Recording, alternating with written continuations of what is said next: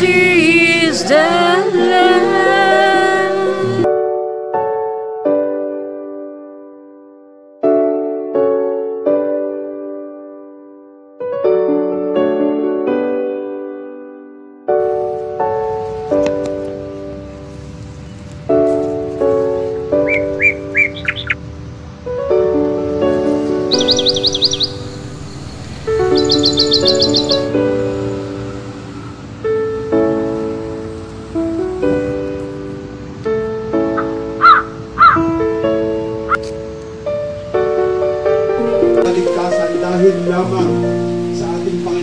Sa pagkakataon ito, ah, bakit natin ginagawa ang communion service? Dahil ito ang katuruan na sinasabi sa Biblia, na sinabi rito ni Pablo sa 1 Corinthians, gawin ninyo ito upang pag-aalala sa ginawa ng Diyos nang ibinigay niya si Yesu Kristo na mamatay sa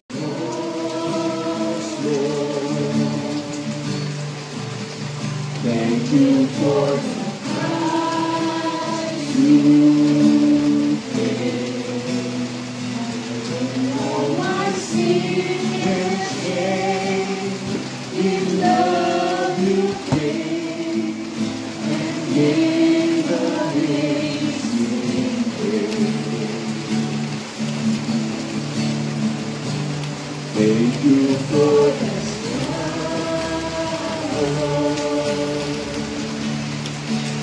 Thank you for the nail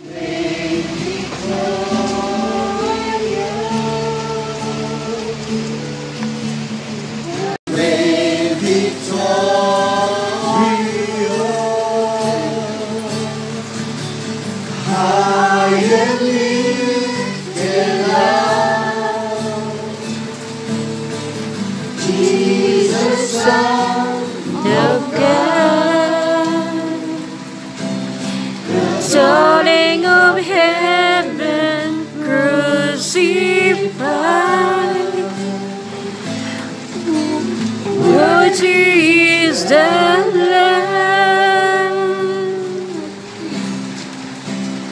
worthy Is the Lamb. Hallelujah. Saliksikin natin ang ating mga sarili kung karapat dapat tayong tumanggap ng mga pagpapala ng Diyos. Ito, ang pagpapala ng Diyos o magitan ng mga instrumento ng katawan at ng dugo ng ating Panginoon Jesus. Mapagpalang Diyos amang banal sa pangalan po ng aming Panginoong Jesus. Kami po ay lumalapit na meron pong pagpapakumbaba. Lord, you said in your words that if we confess our sins, you are just, you are faithful to forgive and cleanse all our iniquities. Lord, we thank you for your forgiveness. And we thank you so much, Lord. You have given your life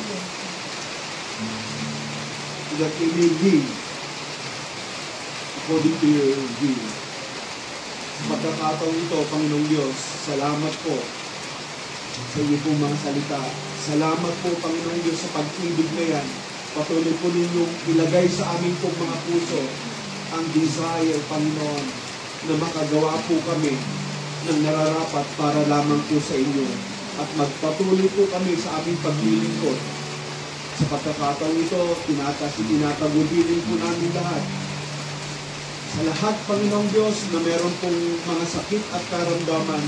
Sa lahat, Panginoong Diyos, na meron pong mga pangangailangan sa pagkakataong ito. Sinabi mo po sa inyo pong mga salita na gagawin po namin ito bilang pag-aalala sa inyo sa pag-ibig. And we believe for all of the blessings through this. Lord, we thank you and we, we trust everything into you as we do, O God. And we accept your love in the name of Jesus. Habang sila ay kumakain, kumuha sa Jesus ng tinapay, pinagpira-piraso at sinabi niya sa kanyang mga alagad, kunin ninyo ito, kanin ninyo bilang pag-aalala sa akin. Kainin po natin ang tinapay.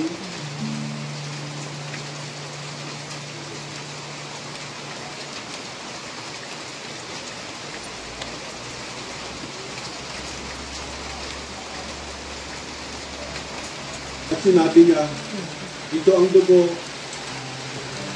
ng bagong tipan. Inumin ninyo ito sa ipagpapatawad ng inyong mga kasalanan. Namin po natin ang buka. Yung pagpapala sa araw na to. Hallelujah. Oh, we thank you and we bless you, Lord. Hallelujah. Salamat po, Panginoon Diyos. Words are not enough, Lord God, to confess about your love. Thank you so much for the healing. Thank you so much, Lord God, for the direction. We thank you so much, oh God, for all of the blessings that comes from you today. Especially, we thank you so much for your embrace today. Salamat po, Panginoon Diyos, sa yakap po ng inyong pag-ibig sa amin. Kami po ay napaka, napalakas. Kami po ay ma-encourage, Panginoong Diyos, sa pagkakataong ito. Sa lahat ng aming pong mga ginawa sa araw na ito. Salamat po because you have blessed us, O God, that even the desires of our heart continue, Lord God, to put this, this fire, O God, of the Holy Spirit in our hearts. To each every one of us, continue, Father, to move, guide, cover us with the precious blood of our Lord Jesus Christ, that even our brothers and sisters who are not with us today, We pray for your blessings be upon each and every one of them. Our loved ones, oh God, who are with us, I pray, Father, for your continuous move and blessing to each and every one of them. Lord, we thank you as we again depart from this place. We ask you to bless this place. We ask you, Lord God, to bless even the faithfulness of your servants whom they're always giving this time, oh God, giving this place for your worship, the life of Brother Nelson, and Zaki, and Janelle. Lord, we ask you to bless them.